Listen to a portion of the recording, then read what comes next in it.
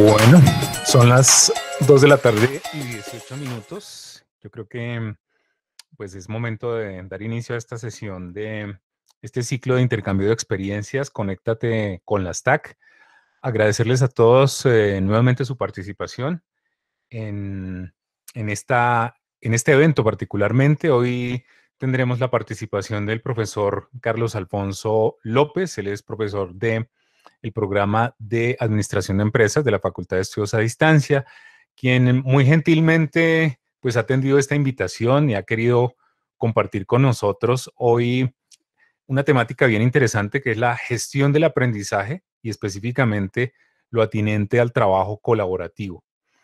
Em, el profesor Carlos pues eh, tiene una amplia trayectoria en docencia en el escenario de ambientes virtuales de aprendizaje, Así que, pues la invitación para todos es a mm, aprovechar al máximo esta actividad y este, mm, esta presentación que nos tiene preparada el profe Carlos para el día de hoy. Eh, no sin antes exhortarlos a todos para que estén muy participativos y pues hagan todas las preguntas del caso eh, al profe Carlos, quien con todo gusto seguramente estará en la mejor disposición de resolverlas. Profe Carlos, bienvenido, muy buenas tardes. Eh, Edgar, ingeniero Edgar, muchas gracias. Eh, yo creo que este espacio que tenemos hoy va a ser muy interesante porque vamos a jugar, vamos a interactuar, eh, pero en especial es, compañeros, poder compartir con ustedes parte de lo que decía Edgar, de estas experiencias significativas que estamos desarrollando en los ambientes virtuales de aprendizaje. Y pues esto tiene que ser un feedback, ¿no? buscando también un poco de retroalimentación por parte de ustedes, de las experiencias que ustedes están viviendo en estos entornos virtuales y espero que podamos enriquecer este proceso. Muchas gracias eh, a Edgar y a, y Catherine que nos están acompañando y apoyando en este ejercicio que es una iniciativa liderada por la Vicerrectoría Académica, la doctora Elena, y la Facultad de Estudios a Distancia en cabeza del decano Lucidio. Bien, entonces vamos a dar inicio. Eh, no sin antes decirles que, pues bueno, más que vayamos a jugar e interactuar con las herramientas para, para desarrollar trabajos colaborativos con nuestros estudiantes, sí es muy importante que podamos tener algunos conceptos y algunos elementos eh, como de, de, base para el desarrollo de estas estrategias pedagógicas que utilizamos en, en estos ambientes virtuales de aprendizaje. Es importantísimo poder comprender y entender un poco qué tipo de herramientas y en qué momento y en qué lugar eh, y en qué actividad yo, yo debo desarrollar estos, estos elementos y estas herramientas al momento de la interacción con nuestros estudiantes. Em, lo podemos utilizar en un ambiente sincrónico, eh, también lo podemos hacer en unos ambientes eh, asincrónicos, ya les voy a explicar un poco por qué. Creemos que solamente es cuando nos podemos conectar eh, de manera presencial con el estudiante mediante estas herramientas virtuales, pero creo que también podemos hacer unos ejercicios interesantes desde los ambientes de la comunicación asincrónica. Esta es una imagen que se la robé la profesora Sandra Balbuena, nuestra vicedecana de la Facultad de Estudios a Distancia, que me pareció muy, muy pertinente por lo que estamos pasando eh, en estos contextos. El, cambio de paradigmas es, es, muy, muy, muy necesario que lo tengamos de referente eh, en estos aspectos porque creemos que, que antes el tema de la educación virtual o la educación a distancia era como una educación de segunda mano. Creíamos que, que estudiar a distancia era algo que, que, no tenía calidad y que no tenía las condiciones. ¿no? Hoy, hoy, gracias a, a decimos nosotros, ¿no? Que a partir de la crisis, de las crisis que se generan, eh, en el caso de administración, ¿no? Siempre en una crisis busca uno generar eh, algunas alternativas, opciones, innovar, ser mucho más competitivos. Y creo que la crisis sanitaria, el COVID-19, nos, nos ha llevado a eso, a ver desde otros panoramas, cambiar ese paradigma, esas barreras de la educación virtual, ¿no? Pero en especial, esa educación virtual, ¿cómo hace o cómo hacemos nosotros en el caso de, la figura de nosotros como docentes, que ya eh, vivo diciendo en algunos escenarios que, que, ya no somos docentes, ya somos más consultores y asesores de los estudiantes, cómo acompañamos ese proceso de aprendizaje. Tenemos que cambiar un poco esa percepción o esa concepción me perdonan lo que les voy a decir, del tablero, del discurso y, bueno, y, el marcador, ¿no? Eh, ¿Qué estrategias pedagógicas, metodologías activas puedo desarrollar con el estudiante que, es un, centen, un millennial, un centennial, que está conectado 100% a su celular? Y, nos ha pasado mucho en las clases presenciales que nuestros estudiantes eh, viven pegados al celular y, muchas veces uno dice como docente, bueno, ¿yo cómo hago para conectar a este estudiante con mis clases y, hacer de que esa herramienta tecnológica pueda ser un instrumento eh, fundamental en el desarrollo del proceso de aprendizaje? Entonces, al principio, cuando, cuando pasaba eso, pues uno como docente presencial, uno es, bueno, muchachos, guarden los celulares, apaguen los celulares, eh, algo por el estilo, pero yo creo que hoy esas herramientas tecnológicas, las tablets, eh, los celulares, todo, lo que el estudiante, los, mismos portátiles que el estudiante pueda llevar a, su entorno de aprendizaje, pues nosotros como docentes tenemos un reto grandísimo y es cómo nos adaptamos también a ese contexto y ese entorno del estudiante para que el estudiante se pueda conectar con el proceso de aprendizaje.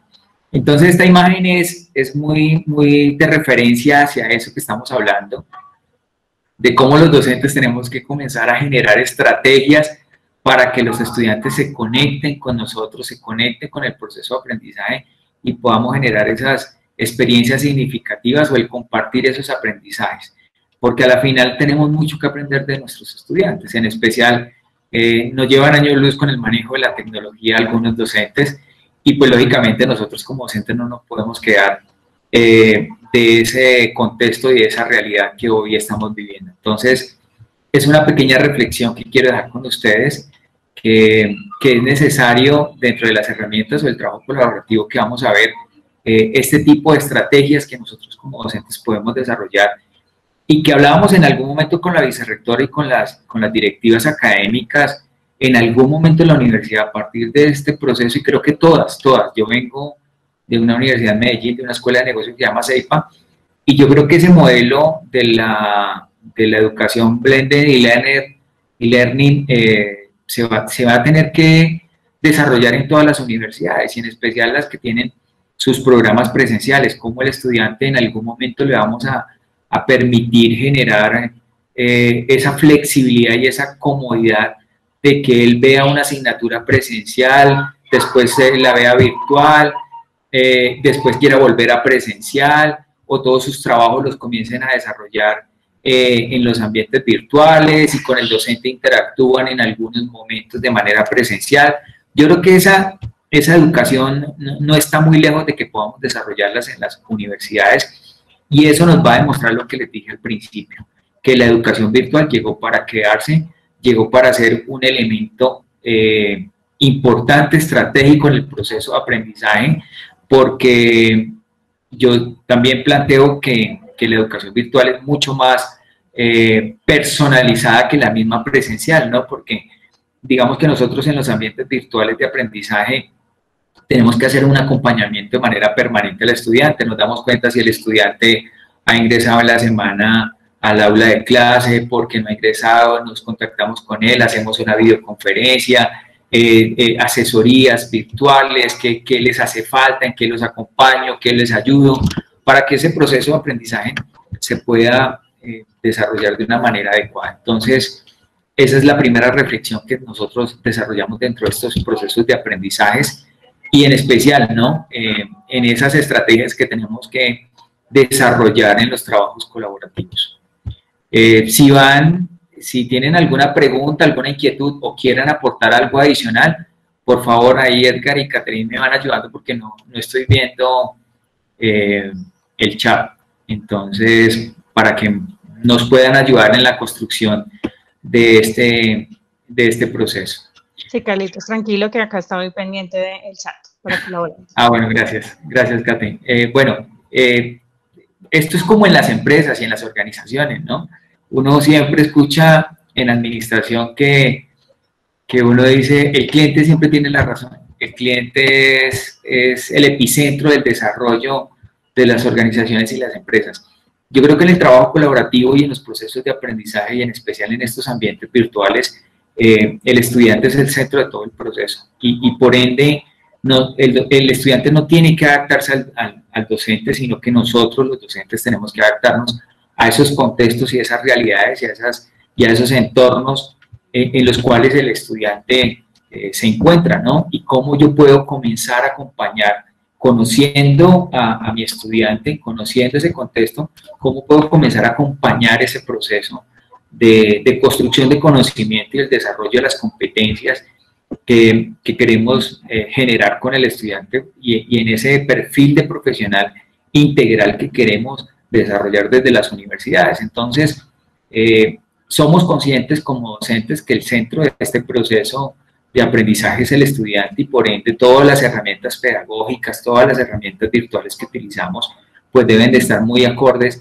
a esos contextos y a esas realidades en las cuales el estudiante eh, se está desarrollando. Este es un video que, que, lo mostré a mis compañeros de la Facultad de Estudios a Distancia, yo creo que algunos ya lo vieron, pero, pero los que no, a mis compañeros docentes de presencial, quiero compartirlos y es más o menos lo que hacíamos cuando estábamos en presencial, no cómo me preparo para desarrollar mis, mis eh, para desarrollar mis asignaturas, ¿no? Para, para compartir y, e interactuar con mis estudiantes. Este es un docente de una universidad, eh, creo que es en México, que, que después de muchos años le tocó adaptarse al tema virtual y que para él no fue fácil, pero que con la ayuda de su hija, él comenzó a, a organizar, a planificar todo su proceso de las aulas virtuales de aprendizaje. Espero que lo podamos ver. No les voy a prometer mucho el sonido porque me toca hacer una configuración ahí con el sonido del Meet. Solamente quiero que vean muy rápidamente todo lo que el docente se prepara, se organiza, la presentación personal. Yo creo que es muy importante y fundamental que cada uno de nosotros podamos hacer esos ejercicios antes de, del desarrollo o de esa interacción con nuestros estudiantes. No es solamente hacer una videoconferencia por hacerla, sino que esa videoconferencia, detrás de esa videoconferencia tienen que eh, encontrarse todo un proceso de planificación y de organización para el desarrollo de las asignaturas y con el ánimo de que nuestros estudiantes, lo que les decía, no, no vean parte de la improvisación o las dificultades que podamos tener como, como docentes en esa interacción eh, del compartir el conocimiento. Entonces, si se dan cuenta, la hija le hace un video al papá, lo sube a TikTok y le dice, hoy mi papá inicia clases virtuales y si se dan cuenta, eh, adecuó un espacio para él, eso es muy importante para nosotros apreciados compañeros docentes, de adecuar en nuestros hogares. Ya nos tocó eh, en estos ambientes de, familia tener también nuestro ambiente para la interacción de, nuestras, de, nuestros procesos de aprendizaje y adecuar ese ambiente es muy importante, muy importante para que no nos pase muchas de las cosas que ustedes han visto en redes sociales, ¿no? Eh, eh, y algunas dificultades que en familia, que son muy personales, eh, quedan a la, digamos, como a la luz de todos los que están eh, interactuando. Entonces la planificación en estos ambientes virtuales de aprendizaje es muy importante y en especial poder transmitir estos ejercicios para esos trabajos colaborativos a los estudiantes es, es, es importante. Entonces aquí ustedes se dan cuenta que la, que la hija le ayuda al papá a organizar todos sus, sus herramientas virtuales, cómo manejar el computador, cómo compartir una pantalla, cómo hacer una videoconferencia, cómo utilizar las herramientas, que hoy vamos a ver algunas. La idea es que ustedes, eh, siempre le hemos dicho aquí con Katherine y con Edgar eh, y con las personas que hemos tenido la posibilidad de interactuar, eh, hay muchas herramientas. La, nube y, y, el entorno virtual y todo el tema de la web tiene muchas, mucha información, muchas aplicaciones, muchas herramientas. Pero la idea es que podamos manejar tres, cuatro herramientas y que seamos duchos y que podamos interactuar con los estudiantes sin ningún problema. Eh, aquí, más o menos, ella está haciendo todo un protocolo, un checklist, una lista de chequeo, una planificación de cómo organizar la clase. Al principio, para nosotros, eh, y creo que ustedes lo han vivido, ¿no? Eh, iniciar todo este proceso de, de, de, videoconferencias, de interacción virtual con nuestros estudiantes, así no ha sido fácil adaptarnos a estas condiciones y a estos cambios, pues, pues eso siempre genera un poco de resistencia, ¿no? Eh, pero la idea es que poco a poco podamos ir volviéndonos un poco más flexibles y más apropiarnos más de estos procesos de formación. Eh, como lo decía el ministerio en el plan Parino, ¿no? La presencialidad acompañada de, de las herramientas virtuales. Entonces, este es más o menos el ejercicio. El Señor organizando todo su proceso. Se ha practicado por días, eh, de tal forma que el sonido, la presentación, todo funcione y a la final, pues lograron el objetivo, ¿no? Que, que se pudieran desarrollar eh, esas videoconferencias, esa interacción con sus estudiantes. Entonces, yo creo que todos nos hemos visto en ese papel al comienzo de estos procesos y la idea es que no nos den miedo los retos, sino que podamos adaptarnos a ellos y, avanzar en este proceso de, digo yo, de, compartir el conocimiento y de los aprendizajes, eh, no, no, solo como docentes, sino también eh, de los estudiantes, ¿no? Porque uno aprende, como les digo, mucho de nuestros estudiantes en el manejo de todos estos eh, ambientes o entornos virtuales de aprendizaje. Algunos retos que los docentes podríamos tener en cuenta para el desarrollo de estos procesos de aprendizaje eh, enfocados hacia esas herramientas que vamos a, desarrollar de los trabajos colaborativos. Uno, diagnosticar el tema de las necesidades, las características, eh, tanto individuales como grupales. Yo, yo soy convencido que la virtualidad no, no, no es un tema individual. Eh, muchos estudiantes dicen, no, profe, es que es muy difícil desarrollar actividades grupales desde la virtualidad. No, no lo veo así. Es una percepción errónea y, y, la mayoría de las actividades que yo desarrollo con mis estudiantes las hago de manera grupal.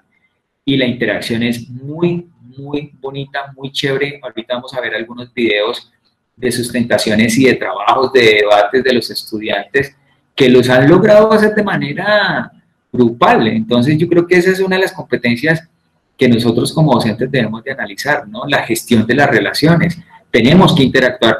así nos diga hoy la pandemia que toca hacer el distanciamiento social. Eh, nosotros también somos conscientes que los colombianos y la humanidad y, los seres humanos somos sociales y, por esa razón, y en las empresas y en las organizaciones y donde interactuamos, siempre va a haber esa, ese, ese relacionamiento social.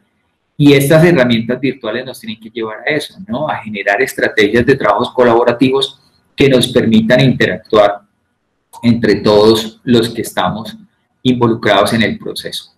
Entonces, buscar esas afinidades y esas experiencias de valor que le permitan generar impactos a los estudiantes es parte del ejercicio que vamos a hacer ahorita en el desarrollo de, la capacitación. La preparación y la planificación, lo que les decía, la pedagogía activa, la metodología activa, eh, las herramientas, los contenidos, nosotros ahorita estamos en, la Facultad de Estudios a Distancia, yo creo que todos estamos evidenciando la dificultad que tenemos con, con la plataforma, ¿no? con el Moodle a nivel, no sé si es a nivel mundial, pero al menos a nivel nacional, eh, está presentando eh, dificultades y fallas. Eh, en varias universidades que están utilizando Moodle está siendo muy intermitente y eso nos tiene que llevar a utilizar plan B, plan C, bueno, lo que podamos. En el caso de nosotros, pues ya estamos trabajando por ahí eh, eh, el montar las aulas en Classroom. En caso de que no funcione Classroom, bueno, tendremos que ver otras, otras plataformas. Y ahorita les voy a compartir otras dos herramientas eh, que utilizamos para el desarrollo de las aulas virtuales. Entonces la planificación, los contenidos, los materiales, los recursos, las actividades, todos estos elementos son importantes al momento de hacer estos procesos de aprendizaje con, los estudiantes y en especial cómo esas actividades y todos esos elementos que, que vamos a utilizar nosotros en, los ambientes virtuales o en estos entornos virtuales de aprendizaje, eh, los enfocamos hacia lo que queremos desarrollar hoy con la, con la presentación y es ese tema del trabajo colaborativo con los estudiantes. Preparación de la metodología y los recursos era lo que yo les decía al comienzo. No todas las herramientas nos, nos desde las competencias o desde los temas pedagógicos, no todas las herramientas son acordes a las actividades o a los procesos de aprendizaje que vamos a desarrollar. Yo, yo por ejemplo, soy uno de los que pienso que Kahoot no me sirve para hacer eh, procesos de evaluación o, baterías de preguntas para hacer exámenes finales. Me gusta más utilizar Kahoot para eh, generar eh, acercamiento con los estudiantes, romper el hielo, que a partir del juego, estas metodologías activas, el estudiante puede interactuar y se pueda sentir como en la confianza. bueno, parte también de lo de Kahoot puede ser un tema de, de buscar, analizar las competencias eh, en los temas competitivos, eh, de conocimiento, pero, pero es más hacia este enfoque de, de, poder romper como el hielo, como les decía, ¿no? Eh, hay otras herramientas que utilizamos para el desarrollo de cuestionarios y, bueno, elementos de evaluación diferentes, como por ejemplo la rúbrica, que ya lo habíamos hablado en una capacitación anterior. El, otro elemento importantísimo, apreciados compañeros docentes, es el tema de motivar a los estudiantes. Eh, ese estudiante que está conectado con el celular, ese estudiante que, maneja mejor las herramientas, eh, qué estrategias pedagógicas, y es lo que estábamos hablando también de la pedagogía activa, eh, y qué herramientas desde las metodologías activas puede utilizar. Y es parte de los ejercicios que vamos a hacer ahorita con ustedes eh, en cuanto a estas herramientas que utilizamos para los trabajos colaborativos. Pero en el momento en que nos volvamos un poco duchos, eh, me perdonan la expresión, de cacharrearle un poco a estas herramientas, pues vamos a encontrar unos estudiantes muy motivados al momento de desarrollar el tema de las asignaturas.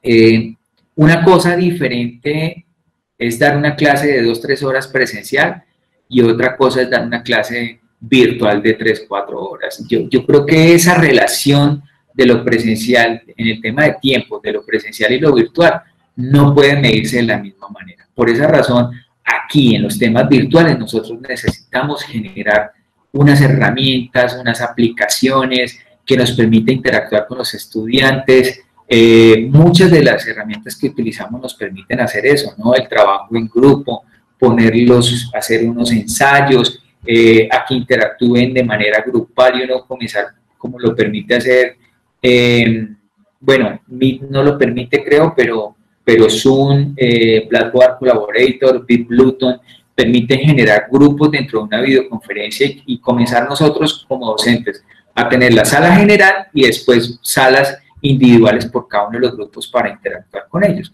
Entonces, mire que ahí hay muchas, muchos elementos que nosotros necesitamos comenzar a comprender y analizar para que los estudiantes no vean que una clase virtual o una videoconferencia y que uno estar ahí como policía, venga muchachos, apaguen el micrófono, venga muchachos, que tal cosa, se vuelva una, una situación muy monótona, sino que realmente generemos a partir de estos elementos que tenemos, eh, herramientas que nos permitan hacer esos ejercicios de trabajos colaborativos y a la final llegar a ese punto 4 que es la motivación de los estudiantes. Lo que les decía en este proceso de, los aprendizajes colaborativos, del trabajo en equipo, de gestionar el tema de las relaciones, tanto individuales como grupales, la resolución de los conflictos, todos estos procesos, pues lógicamente tienen que estar centrados dentro de ese contexto que llamamos el protagonista, que es el estudiante, ¿no? ¿Qué piensa el estudiante? ¿Cuáles son sus sus condiciones, cuáles son sus, sus habilidades, sus potencialidades y cómo yo, en el, marco de, mi función o de mi rol como docente, puedo eh, potencializar al máximo en el desarrollo de todos estos elementos eh, que nos dan los ambientes virtuales de aprendizaje. Ofrecer las tutorías virtuales sincrónicas y asincrónicas, eh, hay muchas herramientas, eh, en cuanto al tema sincrónico, no es solo hacer una videoconferencia por Meet, podemos eh, desarrollar muchas aplicaciones, muchas herramientas podemos utilizar para, para interactuar con, con, nuestros estudiantes. Por ejemplo, cuando colocamos un documento compartido, sea Excel, Word, PowerPoint, en, en las aplicaciones de Google o la G Suite. Eh, y bueno, y otras herramientas que vamos a ver ahorita, ¿no? Eh, cómo utilizar LUT para hacer unos videos muy, muy dinámicos. Hoy Canva también me permite generar muchas de estas herramientas que ya las vamos a ver. Voy a tratar de compartir con ustedes cada una de estas herramientas que les pueda servir en este ejercicio de interacción en la comunicación sincrónica y asincrónica. Y en Moodle pues tenemos muchos elementos, ¿no? Muchas aplicaciones internas en el aula que nosotros utilizamos, como son el tema de los tablones de noticias, los foros, las actividades, los debates, eh, los cuestionarios, todo lo que tenemos en el aula, pues nos permite hacer esa interacción de manera permanente. Nosotros no podemos caer en el error, nosotros no podemos caer, caer en el error de muchas universidades y ese es como el, como, como eh, el mal pensamiento que tienen las personas de los ambientes virtuales o la educación a distancia, de que encuentran un material en el aula, eh, hay algunas eh, instrucciones para desarrollar el tema, entonces hago un mapa conceptual, hago un mapa mental, desarrollo un ensayo, eh, lo envía, haga un examen y, ya, pare de contar. Yo, creo que tenemos que cambiar esa, percepción que tenemos de la educación virtual o de la educación a distancia, y es que nos tiene que llevar a eso que estamos haciendo hoy. Cómo interactuamos, cómo, generamos espacios de, de relacionamiento con nuestros estudiantes para que el estudiante no sienta que está solo en un proceso de aprendizaje, sino que realmente tiene un asesor, un consultor, más que el docente, ¿no? Un, profesional, eh, colega que está ahí en ese proceso acompañando. Entonces, es muy importante todo lo que podamos nosotros desarrollar en los procesos de estas herramientas, de las videoconferencias, no es solamente hacer una videoconferencia con los estudiantes para dar como las instrucciones de las actividades a desarrollar, sino que también podamos abrir unos espacios con ellos de, ese tema, las asesorías, de, de, resolver dudas, de resolver inquietudes, que encuentren a su docente en eso que yo les decía al principio, ¿no? Nos hemos vuelto una educación más personalizada, una educación de más de, de, acompañamiento, de asesoría en los estudiantes, sino que solamente nos encontramos cada semana y ya el docente se perdió del estudiante. Yo, yo creo que ahí no podemos llegar a, cometer ese error, sino que tenemos eh, digamos, en estos entornos virtuales de aprendizaje, muchos elementos para hacer un acompañamiento más personalizado a nuestros estudiantes. Aquí vienen algunos elementos que nosotros eh, siempre tenemos de referencia en, el proceso de, del aprendizaje en, estos ambientes virtuales y es eh, uno que, los elementos de, de, compartir el conocimiento, ¿no? los procedimientos, la búsqueda, la selección y la elaboración de, la información y de los contenidos, que se tenga una información frente a, a, las actividades que vamos a desarrollar, ¿no? Eh, los contenidos teóricos, pedagógicos eh, que se requieren para el desarrollo de, nuestros eh, procesos de aprendizaje. El otro elemento es aprender un poco sobre sobre ese vocabulario. Me, me perdono lo que voy a decir porque yo también tengo muchas falencias. Nosotros todavía tenemos algo de analfabetismo digital, ¿sí? Eh, nos, falta aprender muchísimo de, muchas cosas que, que, el entorno virtual me puede generar, ¿no? Entonces es muy importante que vayamos aprendiendo un poco estos elementos, comunicación sincrónica, sincrónica, qué herramientas puedo utilizar, eh, rúbricas, cuestionarios, cómo construir cuestionarios, cómo diseñar contenidos, cómo diseñar actividades, eh, cómo etiquetar y subir, eh, por ejemplo, las grabaciones de una videoconferencia que hago en Meet y subirlas al aula virtual. Entonces hay muchas herramientas y eso es lo que lleva a, este ciclo de capacitaciones de, la, de las TAC, a que podamos comprender un poco eso que, que son TACs y que son TICs. ¿sí? Todos esos entornos virtuales de aprendizaje, herramientas virtuales de aprendizaje, ambientes virtuales de aprendizaje. Todos estos elementos eh, que, que, de una u otra manera vienen siendo nuevos para algunos, pero para otros que ya se han desenvolvido eh, en algunos entornos eh, virtuales, pues no son tan, tan difíciles de comprender o entender. Y viene el tema del trabajo colaborativo y y cooperativo, y es que la virtualidad no tiene que ser, como les decía, un obstáculo para el desarrollo de estos procesos de aprendizajes a partir de los, del relacionamiento eh, de nuestros estudiantes, ¿no? Eh, cómo generamos estrategias para hacer esos trabajos o, esos equipos de trabajos con nuestros estudiantes y ahí pues tendremos que desarrollar algunas técnicas para eh, generar esos resultados que esperamos.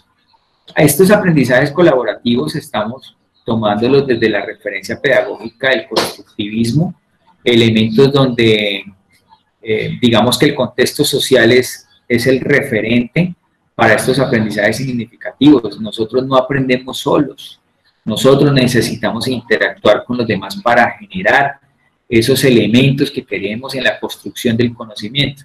Yo siempre he dicho eh, que, más que todo en los temas de investigación, que, que, podemos tener unos muy buenos doctores, unos muy buenos investigadores, unas muy buenas investigaciones, pero nos hemos dado cuenta que en algunas universidades esas investigaciones son, son utópicas, eh, son muy difíciles de, de, tener a la mano, porque el, investigador no quiere que nadie toque su investigación, no, la comparte.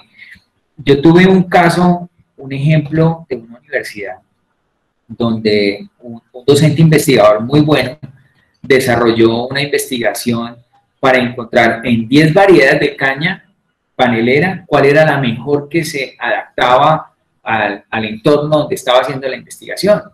Y fue una investigación muy importante, con recursos de regalías, y que al momento de que la Asociación de Paneleros de, ese, de esa región llegó y le dijo a la universidad, venga, sí, muy buena la investigación, 10 eh, variedades de caña, pero y a nosotros, a la comunidad, al sector panelero, la universidad no nos ha entregado esa investigación para que mejoremos los procesos de producción y de calidad de la caña panelera en la región.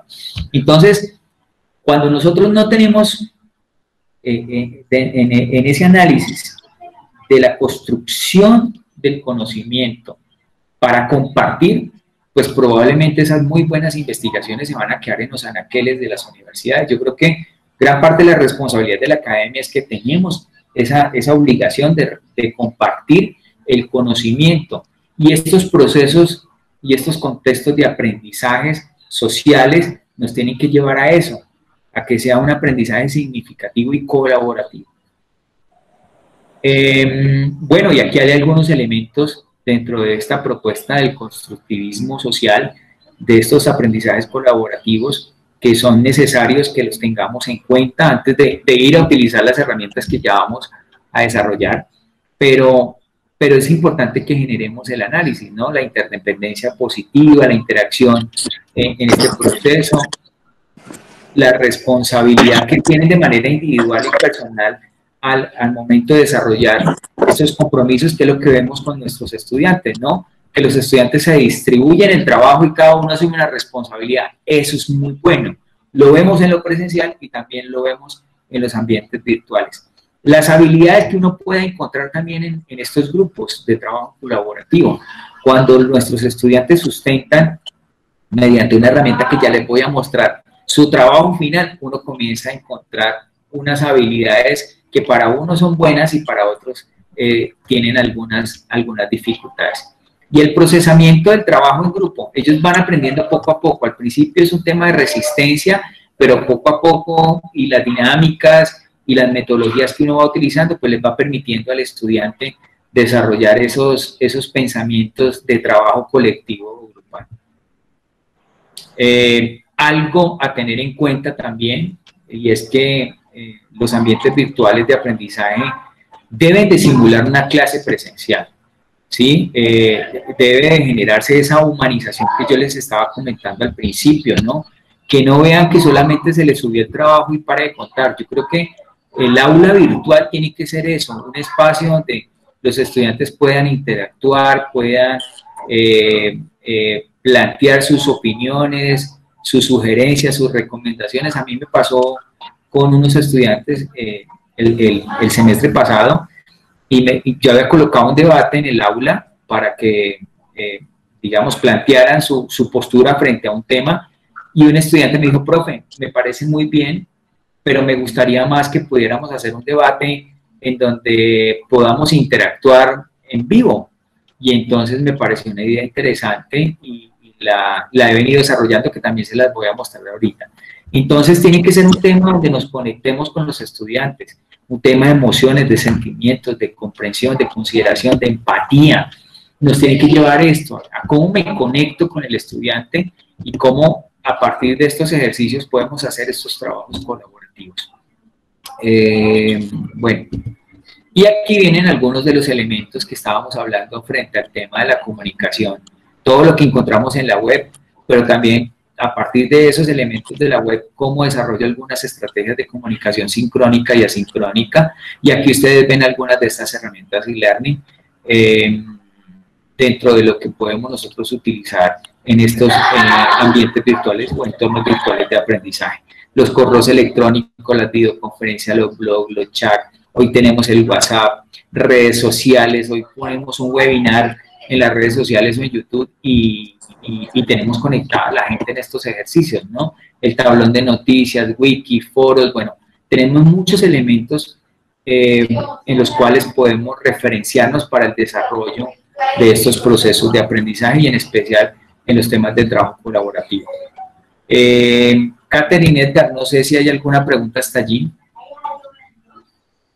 No, por el momento no, profe Carlos. Bueno, muy bien, entonces ahorita sí vamos a jugar que es lo que nos gusta eh, en estos temas de romper un poco el hielo. Vamos a jugar Parler. Esta es una herramienta dentro de los ejercicios de trabajo colaborativo que, que yo estoy desarrollando muchísimo con los estudiantes. Y era lo que les estaba diciendo hace un momento. ¿Cómo desarrollo los debates? Fuera que los estaba desarrollando en el aula virtual, en el Moodle, ahora los estoy trasladando para que ellos también interactúen dentro de estos ejercicios de, trabajos colaborativos. Entonces, Parallel lo utilizo para dos cosas. Para mm, la sustentación de los trabajos de cada una de las asignaturas, pero también lo hago para que generen debate.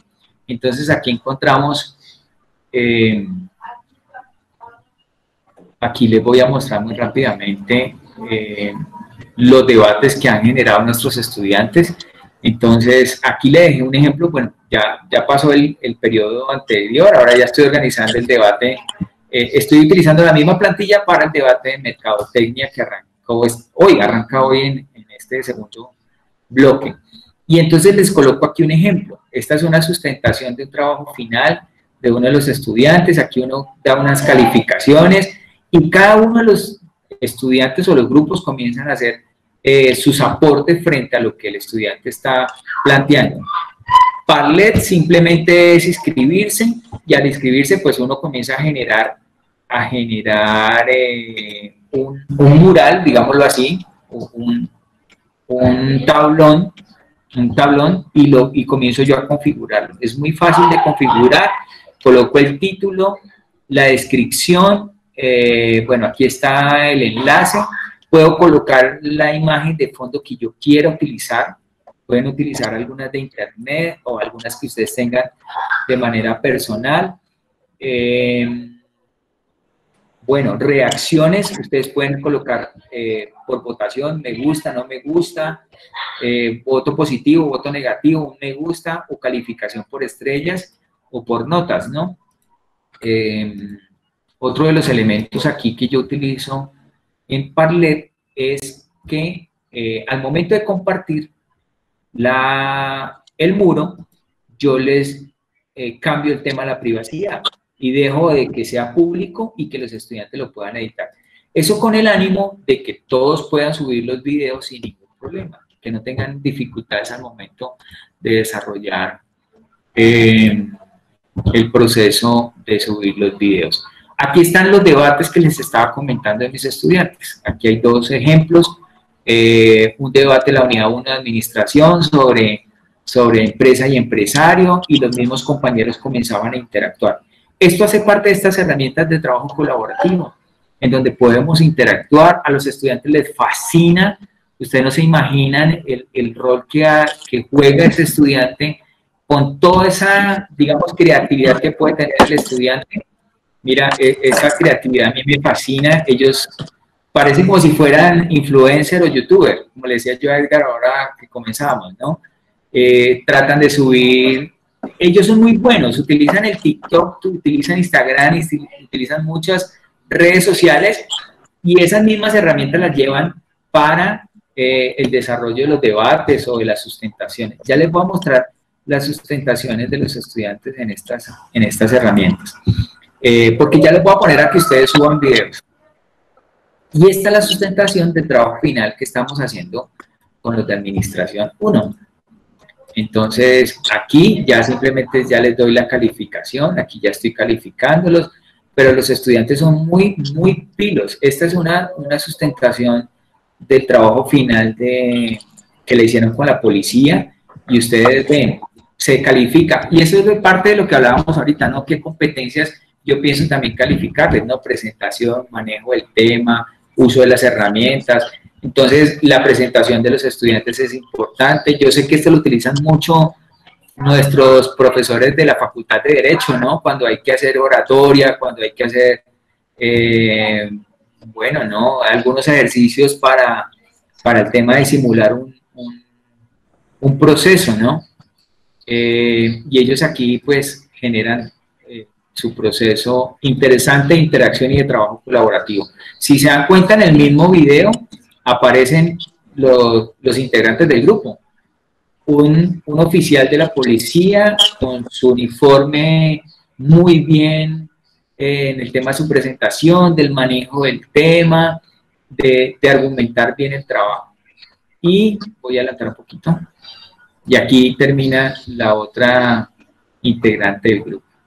Entonces ellos suben el video, muchas veces cuando es muy largo y muy pesado, lo suben en video y lo que hacen es copiar el enlace aquí en Parlet. Pero digamos que los estudiantes aprovechan estas herramientas al máximo para desarrollar sus procesos de, aprendizaje colaborativo. ¿Listo? Entonces, vamos a hacer un ejercicio ahí muy rápido con Parler y ustedes. Voy a darles compartir, les voy a dar compartir eh, el enlace, como ya lo dejé libre, ¿no? Entonces voy a darles compartir el enlace y ustedes van a subir lo que quieran. Puede ser un video, ustedes cogen en YouTube, copian el URL, lo suben y quiero que comiencen a generar ese tipo de ejercicios de interacción con, eh, con ustedes mismos. Vamos a ver qué tema quieren hablar. Alguno así como de interés. Hablemos sobre el COVID, puede ser. O, sí, protocolos de bioseguridad, algo, no, sé, lo que ustedes quieran hablar sobre el COVID. Disculpa. Ah, ya, no, ya encontré, es que estaba buscando dónde estaba el... Acabo de colocarlo aquí en el chat. Ya, ya, profe, muchas gracias.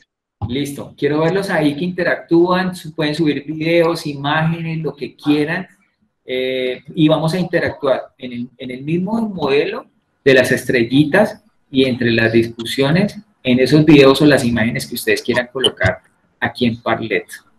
Listo, vamos a abrir ese debate aquí en esta unidad sobre el COVID. Por favor, muy, muy, muy cortico, unos cinco minuticos. No los veo, no los veo.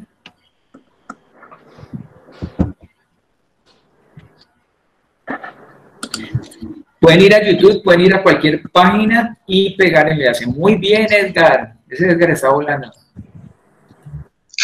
Hola, eh, voy a escribir y me sale como anónimo. ¿Tengo que iniciar sesión o puedo o simplemente escribo mi nombre? No, sí, colocas, colocas el nombre.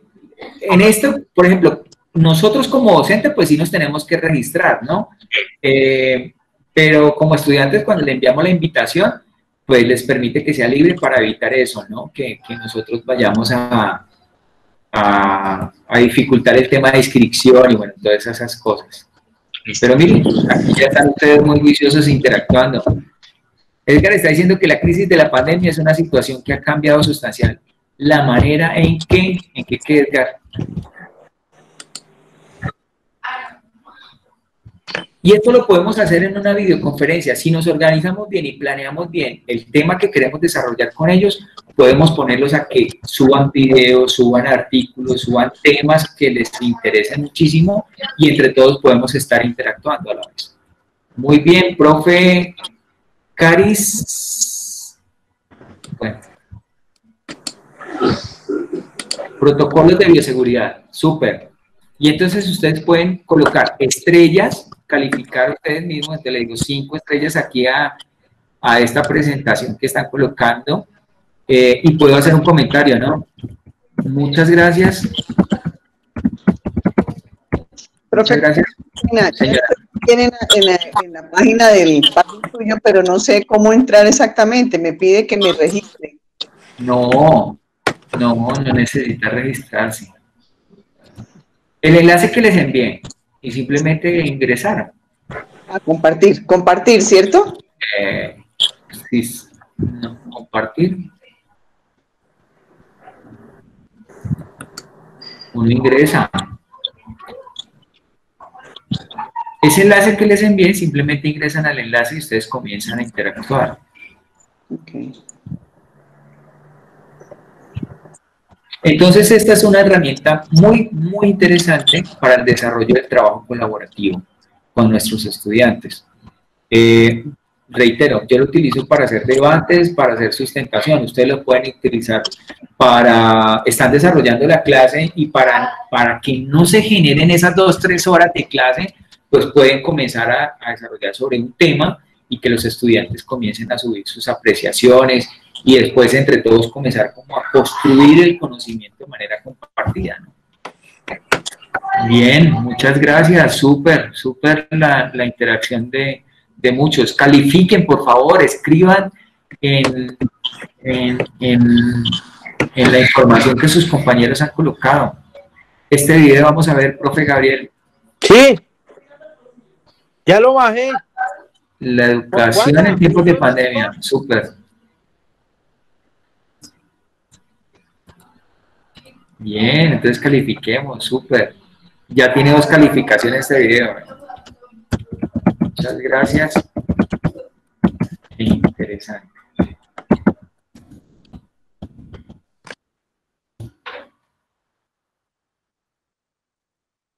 Bueno, por allá están diciendo que abrieron, yo creo que Alma, Alma abrió el debate por allá en otra parte, lo compartió. Muy bien, Almita. Súper. Entonces, mire que pueden hacerlo. Y, lo más interesante de estos ejercicios y de estas herramientas es que podamos interactuar con nuestros estudiantes. ¿Listo? Nos vamos a salir de Parlet. Muchas gracias. Muy bien. Entonces, esta puede ser una de las herramientas que ustedes utilicen para estos ejercicios del trabajo colaborativo. ¿Sí? Eh, construir espacios colaborativos valiosos desde una forma dinámica, mejorando la comunicación con los grupos, la motivación y la responsabilidad colectiva. Eso es muy interesante porque nos permiten subir información de interés, información responsable para la construcción del conocimiento. La otra herramienta que utilizamos es el tema de mural. Mural me gusta muchísimo. Alma ya es una experta en mural, ¿no es cierto, Alma? Profe Carlos. señora.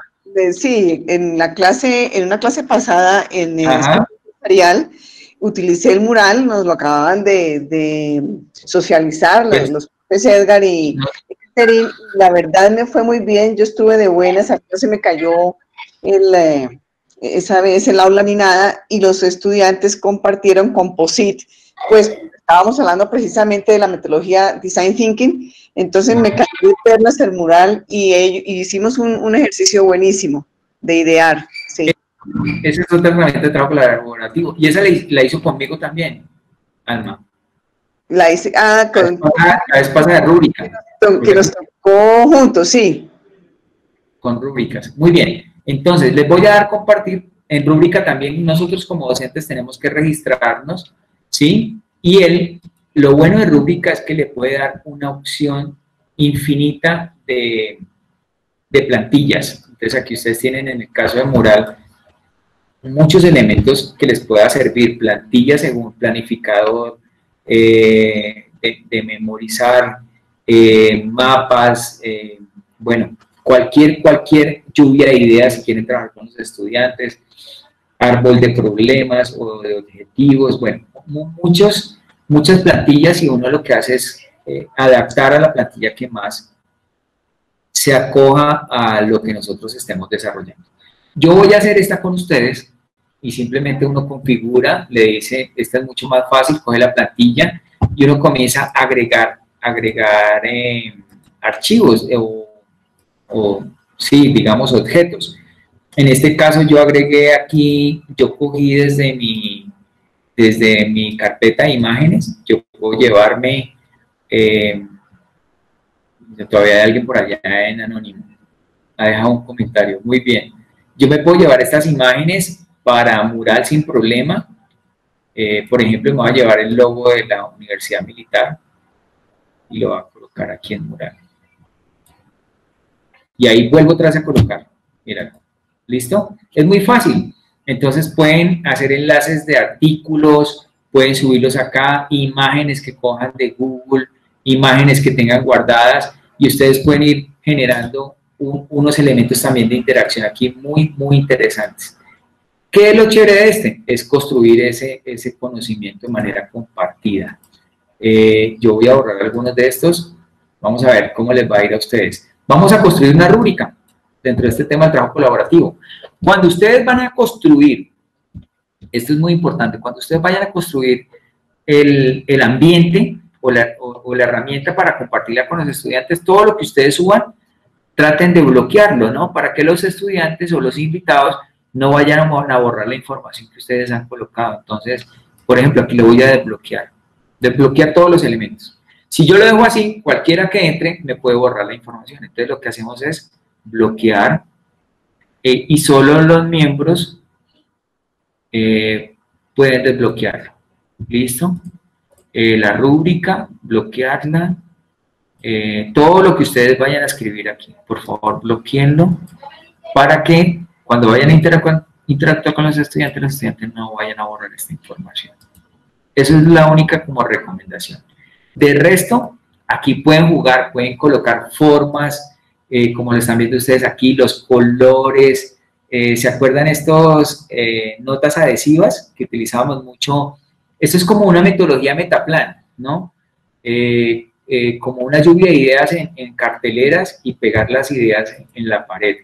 Podemos utilizar las formas, eh, los diseños, ustedes pueden utilizar qué tipo de diseños van a, a generar y bueno, imágenes, ¿no? Pueden escribir también. Entonces es otra herramienta muy interesante para el desarrollo de construir conocimiento de manera colaborativa. Entonces les voy a dar compartir algo muy importante. Uno puede invitar a alguien para construir un documento, ¿no? Pero en este caso, para la interacción, yo les voy a invitar, les voy a mandar el enlace como visitantes para que no tengan que registrarse. ¿Listo? Entonces, les voy a compartir mural. Por favor, ingresen ahí a, esa, a ese enlace que les acabo de colocar en el chat. Muy bien, Excelente, ya van ingresando.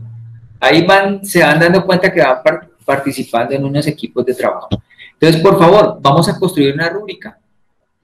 Unos criterios, pueden borrar todo lo que haya ahí o si quieren dejarlo. Eh, unos criterios y, qué niveles quieren evaluar.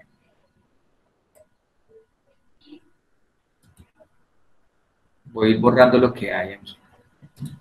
Pueden borrar, pueden colocar un video, pueden colocar un concepto. Ah, bueno, pueden dar doble clic y ahí ya les aparece la nota adhesiva, ¿sí ven? Doble clic, den doble clic y ya les aparece la nota adhesiva. Muy bien, muy bien. Excelente. Y ya cuando tengan la nota adhesiva, ahí escriben dentro de la nota adhesiva. Le dan clic y ya pueden escribir dentro de la nota.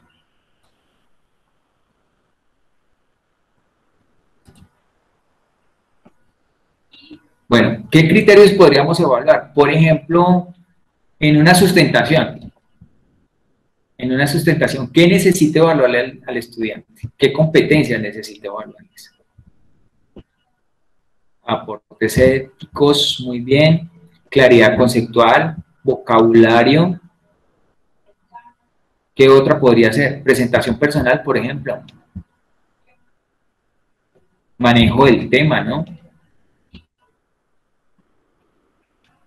Y aquí con ellos mismos podemos construir una rúbrica.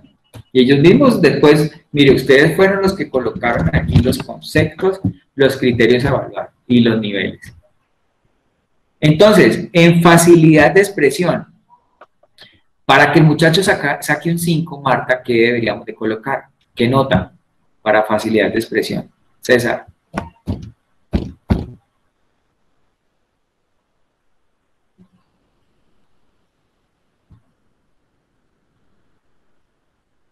Bien, muchas gracias, ya están ahí escribiendo.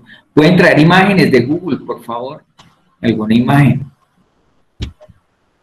Bien, mal, regular, carita feliz, carita triste. Traigan algo, algo de, internet, alguna imagen así llamativa. Vamos a ver qué escribieron por aquí. Después uno como docente lo que hace es como en cualquier metodología grupal, ¿no? Comenzar a, a, ¿qué? a unir conceptos que son muy similares, ¿no? Para ir construyendo la información. Este trabajo se hace mucho para diagnósticos, planeación también, lo podemos hacer en la lluvia de ideas, en las empresas, en las organizaciones. Muy bien, ¿quién colocó ese? Muy bien, súper. Pongámoslo aquí, arriba. Lo voy a subir, perdón que lo haya tomado. Vamos a subirlo. Muy bien. Ese puede ser un nivel de evaluación en el criterio. Excelente. Ustedes pueden colocar tiempo también. Aquí les permite facilitar el tema del tiempo. Vamos a colocar dos minutos más para trabajar. Listo. Tienen el temporizador y le dan iniciar. Y si ven, ahí les aparece el tiempo que nos vamos a, que vamos a utilizar para el desarrollo de la, de la actividad. Gracias, muy bien. Alguien subió por aquí un video, lo bajaron por acá afuera.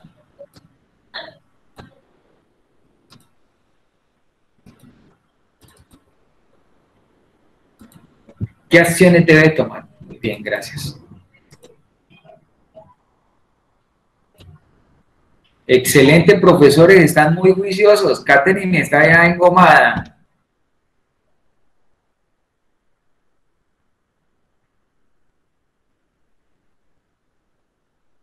Después nos queda a nosotros la tarea de, organizar, de organizar toda la información que se ha subido. Pero es muy buena para el tema de la interacción con nuestros estudiantes dentro de este ejercicio de trabajo colaborativo. Es otra herramienta que le podemos dar al estudiante para que él también desarrolle alguna actividad que vayamos a, desarrollar con ellos. Que alguien colocó otra carita feliz, pongámoslo por acá arriba.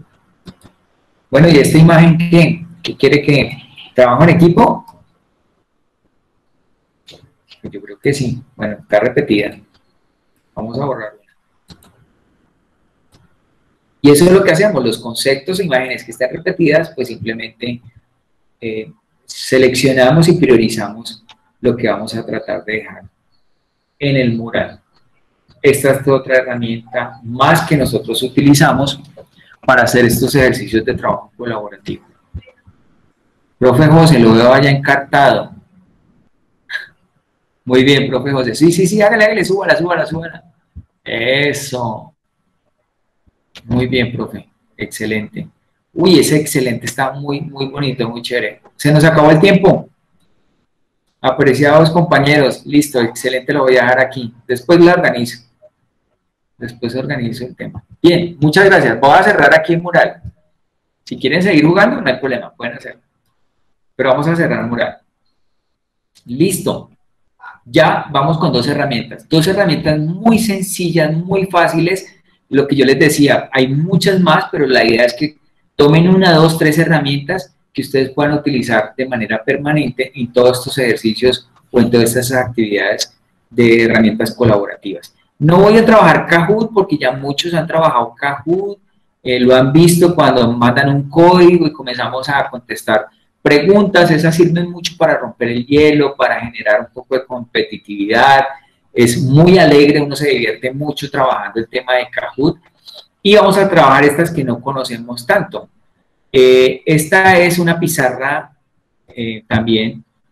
Eh, por favor, quiero que me escriban. Pueden aquí escribir en texto o pueden escribir con lápiz. Esta la utilizan mucho los profesores de contaduría o de matemáticas para cuando necesitan hacer o desarrollar actividades con los estudiantes. fórmulas, bueno, algunos de esos elementos. Pero por favor, quiero que todos escriban su nombre y simplemente lo que hace uno con, la pizarra web es compartir. Voy a darles compartir el, link. Eh, no necesitan de, inscribirse y simplemente compartimos y ya. Ahí están, por favor, entren a la pizarra. Escriban su nombre y de qué programa son. Nombre y el programa. ¿Listo? Si lo quieren hacer con el lápiz o si lo quieren hacer con las letras. Y esta es otra herramienta que nos sirve para eh, desarrollar fórmulas, ¿no? Desarrollar algunas actividades. Mira, ahí están todos, ya comenzaron a entrar bien. Derecho, José Derecho, César, Marta. Duro, duro. Al principio es muy duro es escribir con el, con, con el lápiz, pero bueno, ahí va uno aprendiendo poco a poco. Pero lo pueden hacer también con letras. César Correa, Derecho. Muchas gracias, doctor César. Profe César. Bien, profe José. Y ahí uno va haciendo una interacción con los estudiantes también cuando uno quiere desarrollar algún, algún ejercicio, alguna fórmula, alguna actividad. Esta es otra herramienta más que utilizamos para el desarrollo de, de esos trabajos colaborativos. ¿Listo? En esta no me voy a demorar mucho. Solamente quería que la, que la vieran, que la conocieran un poco. ¿Listo? En todas como docentes nos tenemos que registrar. Algunas le dan a uno un tiempo gratis y después pues toca pagar como, la mayoría de las cosas, ¿no? Toca pagar algo para poder utilizar la herramienta. Pero, pero es una herramienta muy interesante, en especial para los profesores de contaduría que necesitan como esas tablets digitales para desarrollar sus fórmulas o sus, o sus ejercicios. ¿Listo? Nos vamos. Chao. Nos vamos con Loon. Loon es una herramienta que yo utilizo para hacer videos y explicar algún tema. En estos días hice un video para explicar cómo eh, grabar, eh, eh, subir, perdón, la, la, videoconferencia grabada en, en el aula. Entonces, les voy a mostrar aquí muy rápidamente. Esta es también registrarse y aparece uno en la imagen, ¿no? Y aquí uno comienza a explicar le va mostrando la pantalla que usted tiene. Le va mostrando la pantalla que usted tiene y usted va, eh, digamos, desarrollando el video. ¿Por qué la muestro? Yo sé que no es de trabajo colaborativo, pero le puede servir a los estudiantes cuando tienen que sustentar algo y subirlo, puede ser a Parlet o subirlo al aula, ¿no? Cuando hay esas interacciones de debates o foros. Si yo quiero descrestar un poco, digámoslo así, con alguna herramienta adicional mediante un video, pues utilizo este tipo de herramientas para hacer videos. A nosotros los docentes nos puede servir muchísimo para, aunque aquí también en el tema de la interacción yo puedo compartir el enlace y la gente puede generar eh, apreciaciones, ¿no? Apreciaciones. Ahí tengo a la profesora Carolina, Liliana, eh, bueno, casi todos los profesores de administración vieron el video de cómo... Eh, entonces nos puede servir para eso, ¿no? Para hacer ese trabajo colaborativo de aprendizajes compartidos. Entonces yo puedo mover la imagen, puedo jugar, bueno, muchas cosas. Y son videos cortos que también nos pueden servir ahí de apoyo. La otra herramienta que utilizamos eh, para, para estos ejercicios de trabajos colaborativos es la G Suite. Voy muy rápido, no, no sé, Catherine, no sé si voy bien, si hay alguna pregunta. Yo voy como muy a la carrera. No, no, Carlitos. Bueno. No hay, ninguna pregunta. Pues yo creo que todos los maestros están esperando el final, sí.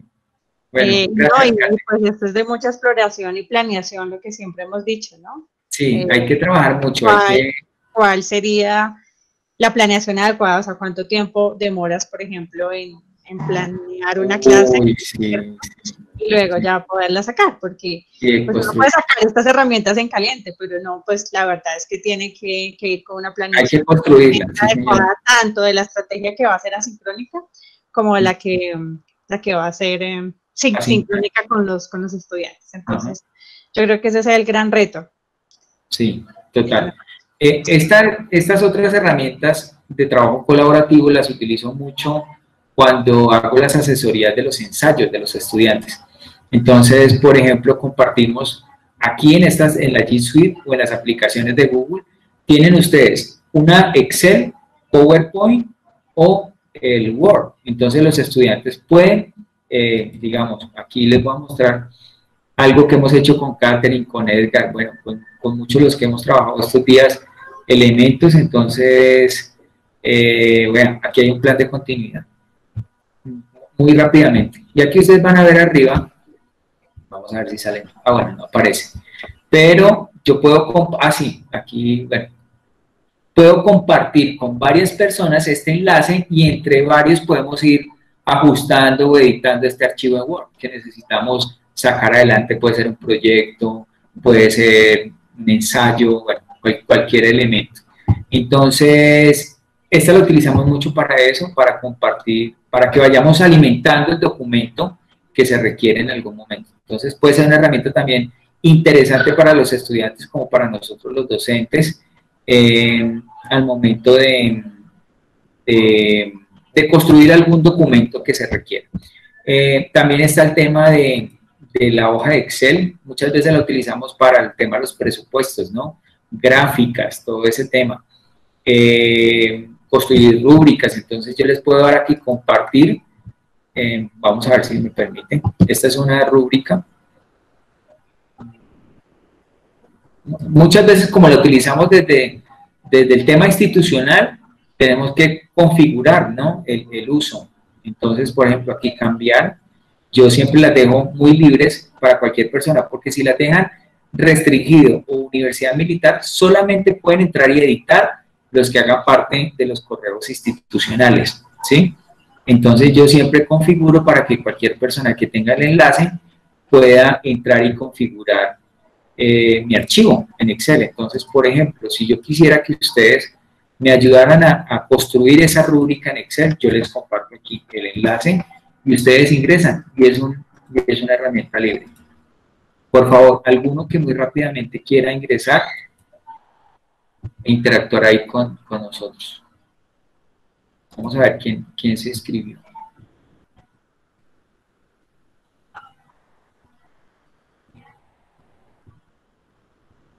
¡Wow! Artísimos. Gracias, Catherine Edgar. Muy bien. Y entonces ustedes cada uno puede ajustar este archivo en Excel, ¿no? Alma, muy bien, Alma. Muchas gracias, profesores. Y esta es otra herramienta más que nos da estos, estos entornos virtuales para que hagamos estos trabajos colaborativos. Carlos. Señor. Eh, ese archivo, esa, esa hoja de cálculo que nos compartió solamente está en eh, modo lectura, o sea, solamente la podríamos editar, No la podríamos editar. Sí. Ah, bueno, vamos a ver qué pasó.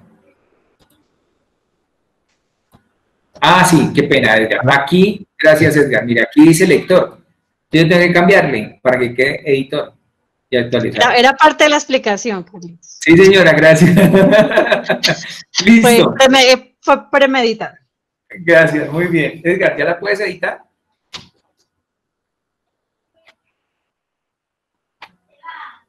Sí, ya miramos. Por favor, a ver si pueden editarla. Ah, muy bien, ahí ya veo a alguien que Ya estamos actualizando y ya. Creo que sí. Sí, muy importante. de cambiar, entonces hay que cambiar aquí para que cualquiera pueda. Y el tema de editar. Sí, lo que dice Edgar es cierto, estaba lector o comentador. Pero la idea es que todos podamos editar. Muy bien. Excelente, muy bien. Yo sé que por tiempo nos quisiéramos quedar ahí eh, haciéndoles los ajustes que quieran, pero nos toca correr un poquito. Muy bien, esa es otra herramienta más que nos permite hacer estos ejercicios de trabajos colaborativos. Reitero, tienen PowerPoint, tienen hojas de cálculo y tienen el tema de, Word. Eh, esa es otra herramienta más que utilizamos para el tema de los trabajos colaborativos. Viene el tema de nuestro Moodle. Hoy ha sido imposible, el tema está muy intermitente la plataforma. Yo aquí traté de colocar algo en la presentación de cómo hacer ese tema de los grupos para los trabajos colaborativos. La mayoría de las actividades, como les decía, que yo desarrollo con, los estudiantes, pues las hago mediante la conformación de, en, temas, perdón, actividades grupales. Entonces, pues yo les solicito, lo primero que hago es en el tablón de noticias, una presentación y un tema de conformación de grupo. Entonces los estudiantes Moodle, por ahora, ellos no pueden registrar el grupo, nos toca a nosotros los, docentes registrar. Entonces la idea es que aquí ellos coloquen, perdón, ellos coloquen los grupos de trabajo y uno lo que hace ya es después eh, eh, habilitar cada uno de los grupos de trabajo. ¿Cómo se habilitan? Pues nosotros vamos aquí al administrador del aula mano eh, izquierda, grupos, ¿no es cierto? Crea uno el grupo. Yo aquí ya tengo todos los grupos de trabajo de mis estudiantes. Yo sé que muchos ya lo manejan muy bien. Después en cada grupo, cuando ya está creado el grupo, le digo agregar usuarios y agrego los usuarios que se escribieron en el tablón de noticias. El grupo número uno, y agrego Milena, Fabio y Alejandra, tres. Máximo yo coloco de tres, pero pues, se pueden colocar grupos de cuatro, cinco. Eh, y es otro elemento más de trabajo de colaboración. Me encanta poder desarrollar la mayoría de las actividades mediante eh, trabajos colaborativos o, en temas de grupales, porque creo que eso nos ayuda mucho al tema de la competencia de la gestión de las relaciones con los estudiantes. Entonces, ahí la puedo generar. Pero adicional, lástima que es que aquí tengo, reitero, dificultades con el aula, pero en la actividad que usted le va a calificar al estudiante grupal, tiene que configurar al elemento que sea grupal, de tal forma que un estudiante, con que un estudiante suba el trabajo, ya toma la actividad para el grupo eh, al cual quedó conformado. Entonces, vamos a ver si, si aquí un momentico. Bueno, mientras que abre ahí, eh, vamos a ver si puedo abrir el aula. Les muestro en el tema de cómo configurar la actividad grupal, eh, darle la opción para que, para que quede en grupo. Otra de las herramientas, señor. Sí, no, solo un, pequeño aviso antes de que se, sigan de pronto retirando, y es por favor diligenciar la, asistencia. Les agradecemos de ah. manera muy especial el registro de su participación en este evento. Entonces, eh, está disponible en el chat un enlace a un formulario para que por favor lo, lo diligencien con los datos básicos. Muchas gracias, qué pena Carlos interrumpir. No, gracias Edgar. Bueno, otra de las herramientas que utilizamos mucho para hacer las presentaciones es el tema de Canva y también Canva me da la posibilidad de crear grupos de trabajo, ¿sí? Por cuando los estudiantes necesitan desarrollar alguna presentación o algo, ella me da esa opción. Entonces yo aquí puedo crear los grupos de trabajo, invitar según los correos electrónicos y pues ya los diseños de las, de las presentaciones. Las utilizamos mucho para el tema de infografía, ¿no? Yo desarrollo espina de pescados y bueno, algunas infografías, por ejemplo, estas de, de las competencias, las descargo uno después en PDF, eh, bueno, competencias de los estudiantes, más o menos como la que estaba mostrándonos ahorita Katherine en Mural. Y si hay varias personas del equipo de trabajo, pues yo las inscribo para que comiencen a alimentar esa información. Esta herramienta Canva es muy buena, tiene muchas opciones, lo que decía Katherine, toca trabajar mucho para conocerla y cómo utilizarla al momento de desarrollar las actividades en, en nuestros ambientes virtuales. Otra de las herramientas que yo utilizo es Brand Space, esta es de la Universidad eh, de la Escuela de Negocios CEIPA, y ella también me da la opción de la conformación de los grupos de trabajo. Entonces, lo que les decía, si tenemos fallando Moodle, pues tendremos que buscar otra herramienta, Meet o alguna otra, otro, otro servicio que nos permita generar aulas virtuales. Igual, igual que Moodle, generar grupos de trabajo y cuando envían las actividades, las actividades se califican de manera grupal. Entonces ahí aparecen cada una de las actividades que desarrollamos y el tema grupal. Igual Microsoft Teams, ¿no? Entonces Microsoft también me permite generar las actividades, esta es de la Universidad Cooperativa de Colombia, generar las actividades, el chat, los equipos de trabajo, las tareas y bueno, ya, depende mucho de la de qué es como de la herramienta que utilicemos del aula virtual, ¿no? Y cada una de estas herramientas pues nos permite desarrollar estas actividades. Eso era, compañeros docentes, lo que quería compartir con ustedes sobre em, herramientas de trabajo colaborativo, aprendizajes colaborativos em, y que estamos desarrollando en la Facultad de Estudios a Distancia.